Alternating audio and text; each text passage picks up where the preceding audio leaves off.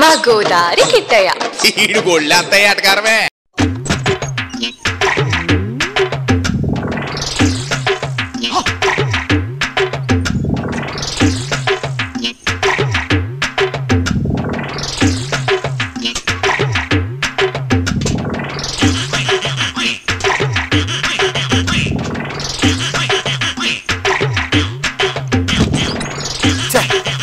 ఇక్కడ సిగ్నల్ లాగుతులేదు.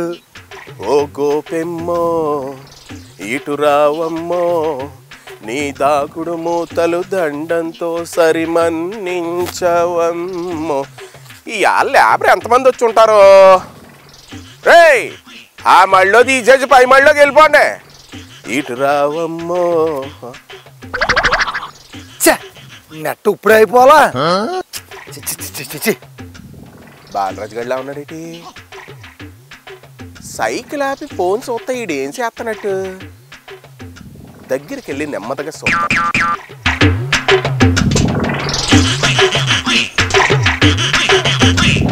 ఇప్పుడే అయిపోవాలా hotspot on చేయమంటావా? అంజీ అంజీ బొమ్మలు బాగున్నాయా? బాగున్నాయి బాగున్నాయి. ఎట్టిమాయి నువ్వా? మింగి తిని కొంగసి ఎట్టెక్కిందని? సైకిల్ మీద వెళ్ళిపోయి ఓడు వెళ్ళిపోకుండా ఆగి మరీ నెట్ట చూస్తున్నావు ఏట్రా? ఏటి సాంగతే? బాగా చెప్తాను.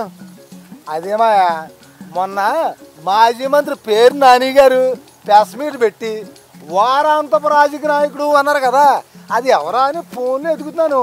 ఈ లోపల పుసుక్క నెట్ అయిపోయింది. నీకేమన్నా తెలిసేటి? శుక్రవారం నాయకుడు అంటే తెలుసు.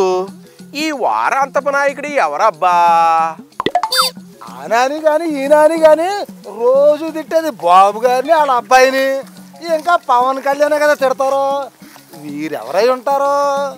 ఓహో మొన్న వీకెండ్ వచ్చినప్పుడు వీపు వాయించేలాగా పవన్ మాట్లాడాడు కదరా. అందుకేనేమో పేరుని ఎటకారంగా ఆ జనసేనాన్ని అలా అని ఉంటాడు. అయినా మంత్రి పదవి ఊస్ట్ అయ్యాక ఏం చేయాలో అర్థం కాక పేరుని వారికి జగన్ గారు మెప్పు పొందాలని ఏదో ఒక వంకతో మీడియా ముందుకు వచ్చి మెగా ఫ్యామిలీలో స్విచ్ పెట్టడమే పనిగా పెట్టుకున్నాడు. ఇలాంటి పనికి మళ్ళీ పనులు చేసే బదులు ఆ నియోజకవర్గంలో మరి ప్రజలకు ఏదన్నా సేవ చేస్తే బాగుంటుంది అని జనాలు బాహటంగానే మాటలు తోటాలు పేలుతున్నారంట ఇప్పుడు జగన్ దృష్టిలో పడ్డం వల్ల పేరు నానికి ఉపయోగమయ్యా మంత్రి పదవి పోయింది కదా. ఓ ఉపయోగం. పేర్నికి కాదురా. పేరుని నానయ్య గారి తనయుడికి. రెండు వేల ఇరవై నాలుగు ఎన్నికల్లో సుపుత్రుడు గారి టికెట్ కోసం పడరాని పాటలు పడరాని తంటాలో పడతా. ఇదిగో ఇలా సమయం దొరికినప్పుడు అల్లా పవన్ని తెగ తిట్టి ఇటు చిరువుకి అటు వాళ్ళ తమ్ముడికి మధ్య సిచ్చు పెట్టాలని విశ్వ ప్రయత్నాలు చేస్తా ఉన్నాడు. అది సంగతే. ఏమన్నా మాయా? రాజకీయాల్లో నేను చిరంజీవి పాలిటిక్స్లో చురుగ్గా ఉన్న పవన్ కళ్యాణ్కి ఇద్దరి మధ్య స్విచ్ పెడితే పేరు నానికి ఏమవుతుందో నాకైతే అర్థం కావట్లేదు మాయా. అదేరా రాజకీయం అంటేనే చిరంజీవి అంటే ఇటు అభిమానుల్లోనూ కాపు సామాజిక వర్గాల్లోనూ చాలా వరకు ఆయన అంటే మంచి మనిషి అని ఒక పేరుంది ఒక అభిప్రాయం ఉంది కదా. ఇప్పుడు పవన్నే సిరుని తిడతా. మరి ప్రెస్ మీట్లు పెడితే వైసీపీ డ్రామాలు ఆడిందనుకో రెండు లాభాలు ఉంటాయిరా లాభం అని వాళ్ళు అనుకుంటున్నారు? భ్రమ అని నేను అనుకుంటున్నాను. ఏటేటి? రెండు లాభాలా? అదే భ్రమలా?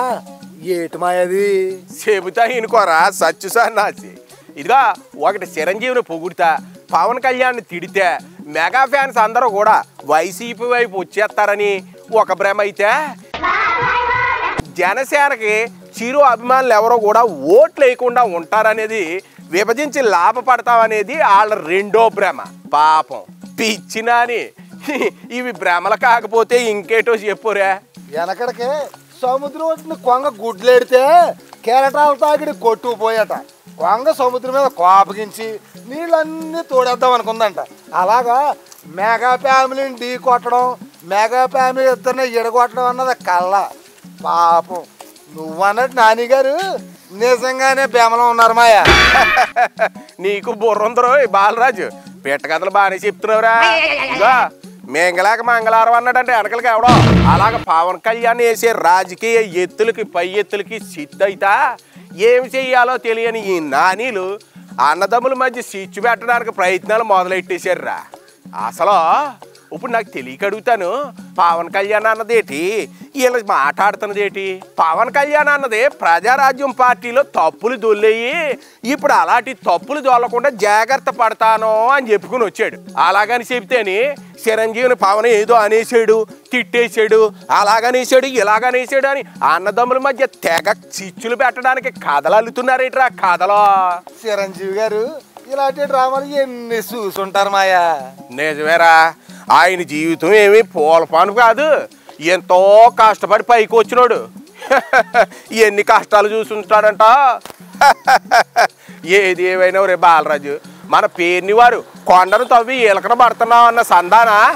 మెగా బ్రదర్స్ మధ్య స్విచ్ పెట్టడం వృధా ప్రయాసని ఎప్పుడు తెలుసుకుంటారంట పాపం. కంగారు పడకో.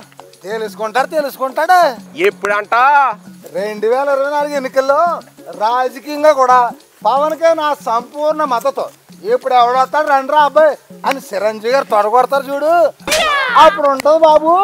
ఈ నానీలకే కాదు వైసీపీ వాళ్ళందరికీ సెవెంటీ ఎంఎం తెర మీద బొమ్మ కనపడుతుంది జత వెయిట్ అండ్ సీ అంతే.